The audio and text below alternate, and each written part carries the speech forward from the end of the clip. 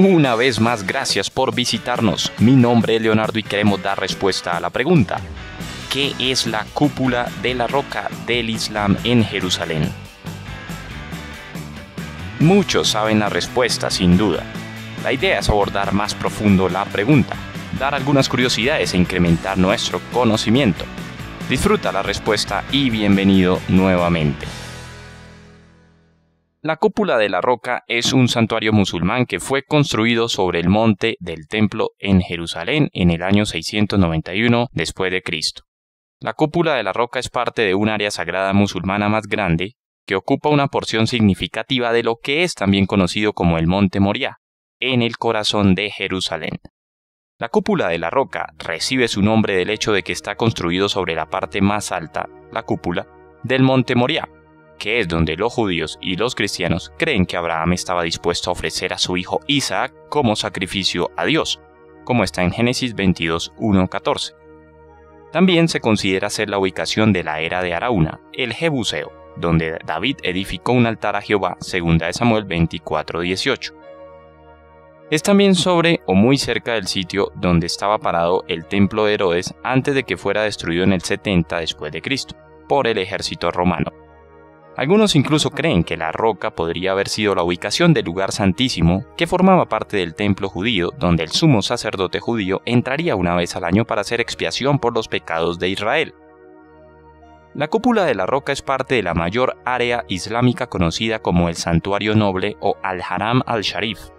Esta área incluye más de 35 hectáreas y contiene la mezquita Al-Aqsa y la cúpula de la roca. Después de que los musulmanes se apoderaran de Jerusalén en el 637, los líderes islámicos se encargaron la construcción de la cúpula de la roca en el 685 después de Cristo.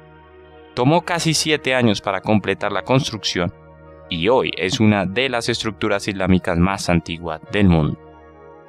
La plataforma, o el área del monte del templo que alberga la cúpula de la roca y la mezquita Al-Aqsa, fue construido en el siglo I después de Cristo, bajo el gobierno de Herodes el Grande, como parte de su reconstrucción del segundo templo judío. Jesús adoraba en el templo de Herodes, y fue allí que él profetizó su destrucción, como está en Mateo 24, 2.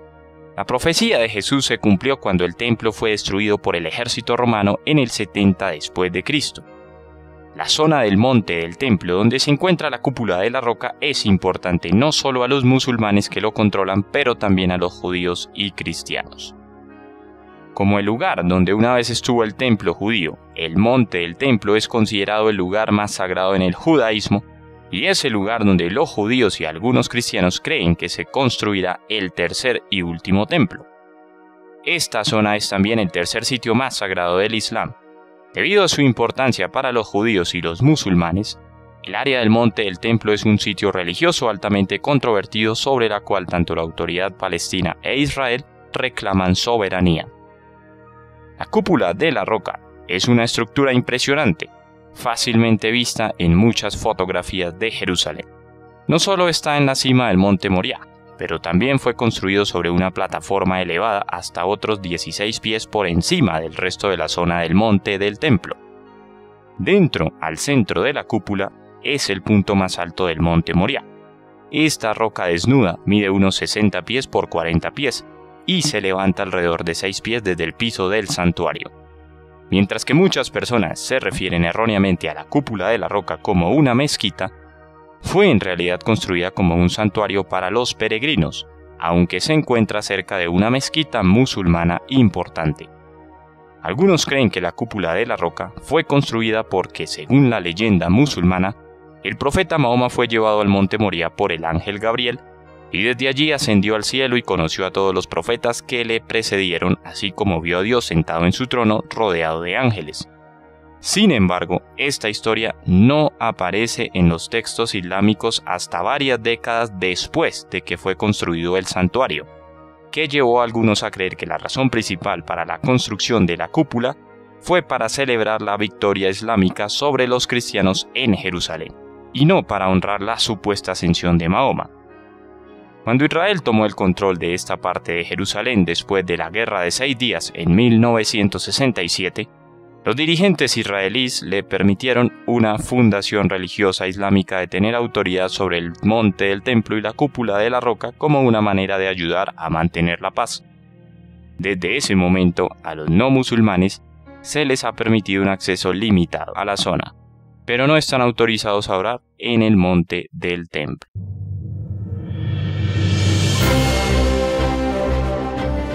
Bien, con esta información queda más claro el conocimiento de este importante icono del Islam y algunas curiosidades de manera muy general. Espero hayas aprendido algo y si se nos escapa algo, bueno, déjanos tus aportes abajo.